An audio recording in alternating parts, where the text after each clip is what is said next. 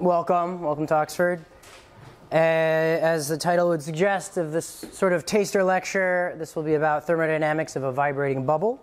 The, my intent, at least, is to sort of give you a flavor of what an Oxford lecture is like. I believe this topic is supposed to be somewhat related to biomedical engineering, but hopefully you can see that in some sense this is a bit, could be viewed as a bit broader, and that goes slightly beyond biomedical alone. Why are we interested in vibrating bubbles or oscillating bubbles? Uh, beyond the fact that that's an area of my research, uh, it is basically a means of non invasively concentrating energy within a body. So you can use it for things like diagnostic ultrasound. So you use bubbles to enhance contrast of sort of ultrasound uh, images people use or are now proposing to use these types of bubbles for also doing various types of therapies. So you have ultrasound enhanced drug delivery. People are looking at something called sonodynamic therapy, whereby uh, uh, the, where the thermodynamics actually plays a huge role. And then people are also looking at sort of theranostics of using bubbles for both imaging and drug delivery. So all very much biomedically relevant, but uh, the concepts here can extend slightly beyond that. So give a quick overview of this lecture. I'm going to do my very best to complete in 30 minutes, ideally 25, and give you guys some time to ask questions, although I'm notoriously bad at keeping to time. Uh, the quick overview, I'm going to quickly define what thermodynamics is, uh, give some uh, definitions, some conventions that are used. We're going to quickly cover the first law of thermodynamics to sort of lay the foundation before we go into actually describing or at least at a very high level, describing what a vibrating bubble is and how we make bubbles vibrate. I kind of gave away the answer in my uh, earlier introduction. And then lastly, kind of touch upon, hopefully, as before you leave, on why we think it's important beyond the fact that some people will fund me for it. So there is, I, I, I believe, a lot of uh, potential in this type of technology but it all is rooted into thermodynamics, which is effectively just simply the study of heat, work, and the interchange between heat and work. Um, you'll notice that I've sort of listed some or bolded some words. We've got heat. So, heat is really just energy in transport. You can imagine, uh, we typically use the letter Q for heat and it will have units of joules. But we can imagine heat as sort of like your campfire, right?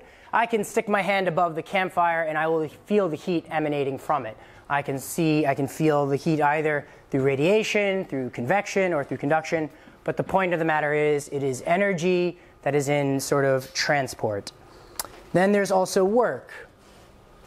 So, work, which we will maybe uncreatively call W, is also in the units of joules, also units of energy, is effectively work is done when a force is applied to something to make it move some distance or maybe change its shape. So again, to quick, get a quick analogy, if I have a balloon and I blow the balloon up, I've applied some form of work um, either uh, to it or work is applied to me when, when maybe I'm squeezing the balloon or, or something of that nature. So it's something physical that is interacting typically with the boundary of the system to sort of change its shape, its volume, its density, some sort of physical property of it. And last thing, which I haven't really written down here, is sort of what ties it all together, which is the internal energy of a given system. So internal energy you can think of it of as if I were to look, so maybe unsurprisingly, just to complete this, it's also units of joules. But if I were to look at a cookie with the various, I don't know, chocolate chips in it or whatever, right? And I were to look at all of the intermolecular bonds between the starches, the sugars, the fats, that was, et cetera, et cetera, all, all the way down to the vibrational aspects of the individual molecules and I were to sum all of that together, I would get the internal energy of that cookie. Maybe crudely speaking, it's the number of calories and whatever it is that you're consuming, right? That's the amount of energy that is in the system, innately in the system. So, why do we? So, now that we have some means of describing what thermodynamics is in a little bit more rigorous way, we can clearly see that between heat, work, and the internal energy, that is fundamental to everything. Uh, everything in the universe what's underpinning it is effectively the thermodynamics of a given system. And this is true when you're talking about combustion reactions, is equally true as when I eat that cookie and I convert that into energy through some sort of biological process. It's always governed by ultimately the thermodynamics. And I noticed, I, I mentioned a, a word in, in, that statement called a system. It's the thermodynamics of a system. In this case, the cookie is a system, right? This room could be a system. So, what is a system? Maybe some more definitions. Well, effectively, a system is some arbitrary thing we define that is separate from the surroundings, and it's separated from the surroundings by some surface or boundary. So, I have the universe here, right? And I arbitrarily pick some volume within it, and whatever that is, I call my system be it the cookie or a person in this room or whatever, right? And then anything outside of it is the surroundings. And then this sort of surface is our control surface. And really, we're now looking at the interaction between the surroundings acting onto the system. And we can sort of think of three different types of systems we can first think of an isolated system. All right, so they're in, sealed away in some mystical box, and it's isolated from its surroundings. Meaning, so what does that mean? Well, it means that I can't interact with it, I can't impose any work onto it, or I can't extract work from it. I can't add or remove any heat from it. And lastly, I actually can't add or remove any mass as well. So that is a system that is in isolation. It is, well, as the name would suggest, you know, secluded from its surroundings in such a way that there is no way for the surroundings to interact with it. There's a second type of system that we might be interested in, which is a closed system. I might add that an isolated system is pretty trivial. It's not one we'll probably delve too much into, but it is in principle in existence. The second one is a closed system whereby maybe it's not as isolated. The biggest difference here is that work can be done to the system or from the system, and similarly, heat can be added or removed from that system. But we cannot add or remove any mass from that system. So the last one, maybe, is the least constrained. It's an open system, and as that might suggest, all it implies is that now we can start adding or removing mass from that system. So there's a general convention when we're dealing with these thermodynamic systems, and it's a convention meaning that, of course, not everybody uses it. So you do have to be a bit careful if you are perusing different textbooks what convention they use. Typically, we say that for a given system, if heat is supplied from the surroundings to the system, then that heat is positive.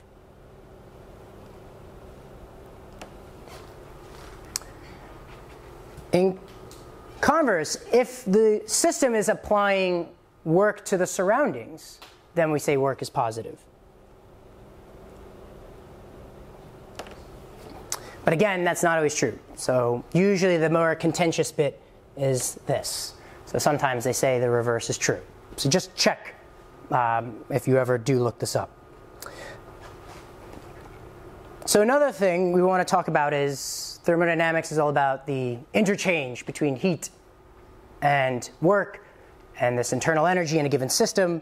But to do that requires a process, and that process requires sort of a path. So if I have a system in state A, and I want to bring that system to state B, how I go from A to B, or the individual steps to get there, is the process. For example, I can light a fire, or I can use my hands to squeeze it, or something like that. So there are many ways I can go to like one, two, all the way down to B. Okay? So each motion is that is a process that I use in a given system, and the journey I take to get to A to B is the path. So maybe from step to one I add heat, and maybe in this step I take away some work or something like that. Now, if I can find a way to go from B back to A, this process is a reversible process. Doesn't necessarily mean that I have to go back the exact same way, but if I can somehow always get back to the original state, then it's a reversible process. If I cannot, then it's irreversible. And of course, there are many different types of processes that I can do on a given system, but I'm going to limit it to two for this particular taster lecture. So we can look at an adiabatic process in which we can say that the heat or the change in heat of the given from A to B or whatever is zero. Okay? So there's no change in heat in a given system. And this next one of particular interest is isothermal, which hopefully, as the name gives away, would imply that the temperature is constant in the process. So I go from, you know, I'm driving my car, I want it to be 25 degrees Celsius, and I'm driving from the top of a mountain to the bottom, I'm somewhere in the Rockies, and uh, I can tell you from personal experience, it'll go from, you know, minus 10 at the top of the Rockies down, if it's a summer day, to as high as like 30, right? But the inside is, during that journey, is still 25 the whole way through. Right? So from my system perspective, it's an isothermal process. And there are ways I can cycle through these systems and, and, do all sorts of fun stuff in order to extract work for a given system. So you can think of like combustion engines and what have you. All right. So what is then the first law? So the first law effectively is simply stated as energy in a system is conserved. That is, I can't just magically create energy and I can't really destroy energy. Again, going back to the topic of thermodynamics, it's about the interchange between heat and work. Right? I can't magically create heat and I can't magically create work. I must sort of exchange it from a given system or extract it or push it into the surroundings.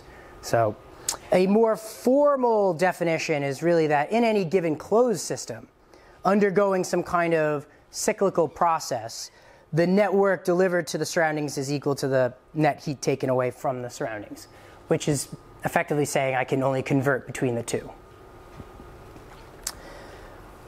A, a slightly even more formal way of describing this is we can look at the given heat given to the system with the work from the surroundings is going to be equal to the total energy or the internal energy of that system. And of course, I can sort of look at this in a differential form, which is slightly more useful.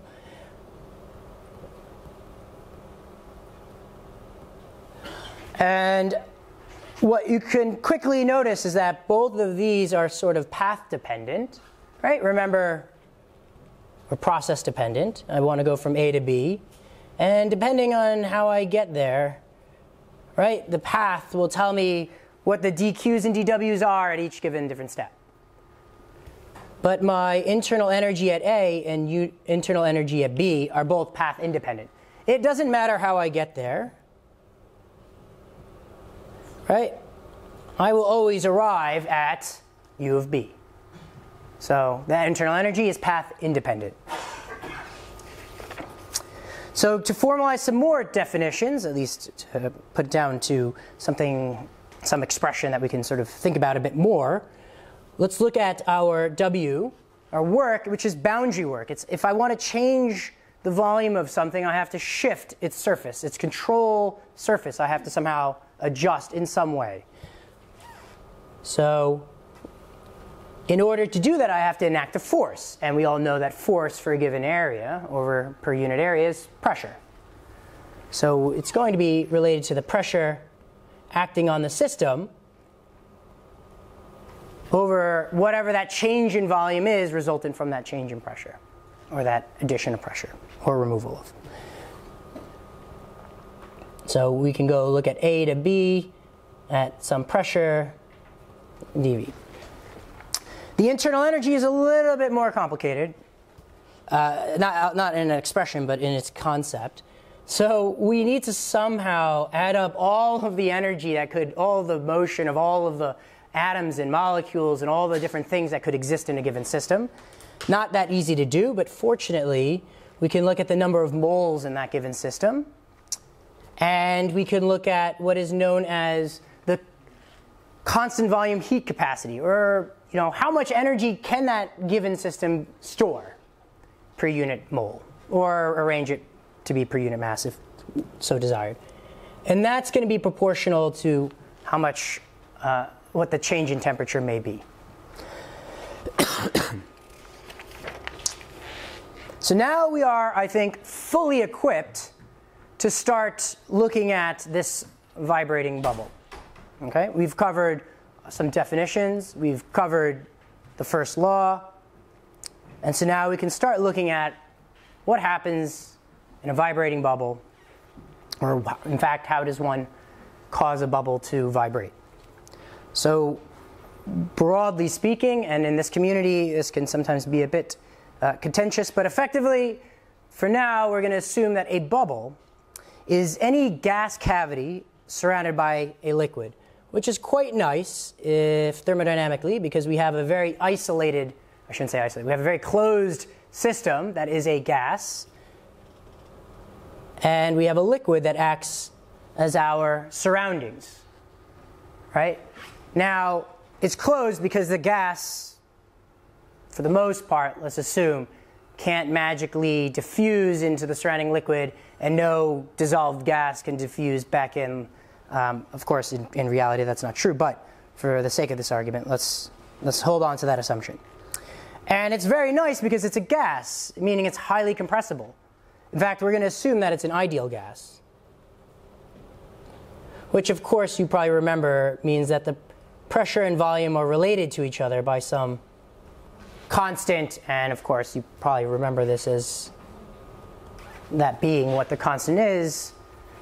Uh, but really, we can just now relate sort of the pressure being just some constant over some volume. So they're inversely proportional to one another, right? That's really important because that implies that if I increase the pressure, I can get a decrease in the volume. Again, think of the balloon. A balloon is like a bubble ish. If I add pressure to it, I decrease the volume. If I release that pressure, the volume then expands. It, and there's a, some sort of um, increase in volume. But so how do I create a, if I want to vibrate it, I have to oscillate between two pressures. And what's the best way to do that? Well, effectively, it's what I'm doing right now when I'm speaking to you. I'm oscillating the air, and you're getting different pressure regimes, and based on that sort of modulating amplitude and frequency, you are interpreting that as my voice, and you're interpreting that as Basically, it's just sound. I can do the same thing in water, except water is brilliant in that it is, for the most part, incompressible, so that pressure wave sort of travels without disturbing too much of the liquid itself. So I can really just think of it as the bubble being situated in an isotropic pressure change as I transmit a sound wave through the water. So effectively, if I'm looking at time, and I have some hydrostatic pressure. I'm not applying any sort of sound wave to it. And I apply a sound wave to it. Then I should get a similar volumetric response, but inversely proportional to the pressure. So I'll get something that looks like this. And now, if you recall, if I am changing its volume and there's some pressure change, then I'm doing work onto the system. And therefore, the bubble, at least the gas inside, is now going to be governed by thermodynamics. Well, everything is governed by thermodynamics, but it's more obvious in this case. In fact, I did a simulation of this really quickly of an oscillating bubble, and here, sure enough, I'm changing it by roughly one atmosphere, uh, and I get a, a fairly similar response, uh, conceptually matching what I described earlier. You'll notice that it is not exactly the same. This increases uh, or rather the volume increases by 10%, but doesn't decrease by 10%. that's because obviously water imparts some amount of inertia. The gas will have some sort of resistive pressure to whatever I'm acting on it, and the bubble will have something known as surface tension induced pressure, which is also known as Laplace pressure. So, but the point being that conceptually we're on the right mark. So, what happens in the vibrating bubble from a thermodynamic point of view? There will be two cases we will look at. We will look at the isothermal case and an adiabatic case. So, if you recall, here I'm going to try to speed up a bit. Now, isothermal implies that there's no change in temperature. No change in temperature means that the internal energy can't change. So from our first law, we quickly see that our heat must be equal to our work. So a real question is, if I want the bubble to be isothermal, how much heat must I exchange from the environment? And if you recall, this is just going to be equal to But from this relationship, we know that pressure is inversely related to volume. And so quickly, through some algebraic manipulations, you'll get that the heat should be proportional to some constant times ln of okay. All i'm really saying here is that as i am going through the cycle during compression i need to pull heat away and during expansion, I need to add heat in. Otherwise, it's no longer isothermal. And sure enough, I did that simulation once again, and here's the same bubble oscillating. Uh, and you'll see here, of course, some of the initial ring up and ring, some details that maybe are not important, but the point is I'm trying to make here is if I were to look at this point and compare to the next cycle here and sum up all the changes of heat at every incremental step of the bubble moving, and you sum them all together, you'll get a net heat of about zero, which makes sense because I started out with no heat being exchanged to and from from state A, and then I go back to state A again, which is no heat. So that makes sense. So the next one is the adiabatic case. So adiabatic implies again that our Q is zero, but similarly dQ is equal to zero. So now our work is equal to our internal energy. So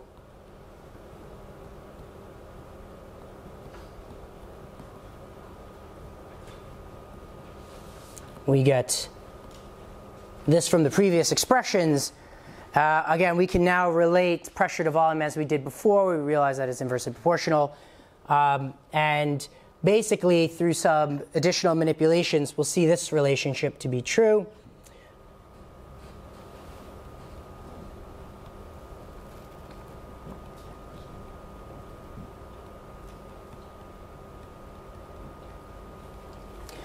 And what we see here is actually the exact opposite of what is happening.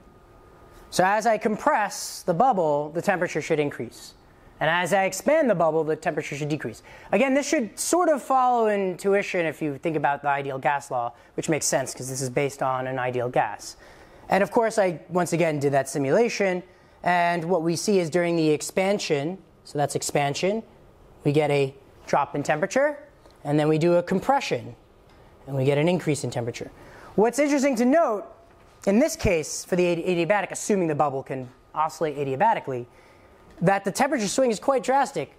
So at its peak compression, its temperature is 50 degrees Celsius, and its peak expansion, it's minus you know, 10. So if there was any water vapor in there, it would immediately condense out and liquefy. Obviously, um, this doesn't happen in real life. In reality, a bubble oscillating at the frequency that I perturbed it at, at, at the uh, amplitude of pressure that I'm perturbed at will be completely isothermal. And again, the reason for that is now, if we're wanting to distinguish between the case of an adiabatic system and an isothermal system, it's about how fast can that heat enter or exit the bubble. So if the bubble moves faster than the rate at which the heat can enter or leave, effectively, it's adiabatic. right? Heat can't enter fast enough and it can't leave fast enough. So the gas just views it as an adiabatic system. But if it's moving relatively slowly, there's more than enough time for heat to enter or leave, and then it behaves isothermally. So in this case, it behaves isothermally. But, of course, I mentioned earlier, obviously, I want to sort of add a bit of energy and do some biomedical science. I take it to the extreme. Instead of one atmosphere of perturbations, I do four atmospheres, or, or no, like two point something atmospheres of perturbation. And now I'm getting the bubble to uh, rapidly expand and then even more rapidly compress. In fact, it compresses so fast it breaks the speed of sound in water and it effectively collapses in on itself and then it transitions from an isothermal process to an adiabatic process. In fact, it's so adiabatic and the compression is so insane, the, the model can't actually really predict it, that the bubble goes from about 25 degrees Celsius and spikes up to about 6,500 degrees Celsius, which is starting to border the temperature of the sun. In fact, it's so hot that uh, we use this sort of process to enact a lot of the drug delivery or, or the sonodynamic therapy that I was sort of alluding to earlier. And that's why it's so interesting is what happens in these regimes and what we can do sort of in application, how do we take advantage of it. So here is what we typically do in this sense. We use sound in bubbles, either exogenous or endogenous bubbles, to sort of deliver patients to treatment. No, treatments to patients, not patients to treatment. And what we use is ultrasound, really high frequency sound waves. The previous sound waves I was using were 1 megahertz. And we force bubbles to collapse in on themselves. And they collapse in so violently that they generate a little bit of light. That's known as sonoluminescence. That light might go out and hit a molecule that is photosensitive. So it goes from an inert to a toxic species in the presence of light. So we can get sort of targeted drug delivery that way. You are generating such a high temperature, that nearly of that of the surface of the sun, that all of the molecules, all of the molecules that are in that gas completely dissociate. They just break up and then it's musical chairs during the expansion. And that we create lots of different reactive oxygen species because there's lots of oxygen in our body. And that also can lead directly to uh, sonodynamic therapy. But it turns out that if you have a lot of ROS, it sensitizes tumors to chemotherapy. So it's another way to sort of redu- reduce the drug loading for chemotherapy. And then lastly, as you can imagine, these are moving very, very quickly, perturbs the la- liquid around it, the collapse emits shock waves, and all these mechanical effects can enhance drug delivery, uh, open up barriers in the body like the blood brain barrier, and also induce things like histotripsy, you just literally breaking the tissue down, or the, uh, the, the, viscous dampening uh, causes gets converted to heat, and then you get sort of a thermal ablation. So with that, I have landed within the 30 minute timeline, but I have about three minutes left for questions for anyone in the room that might have a question. Thanks.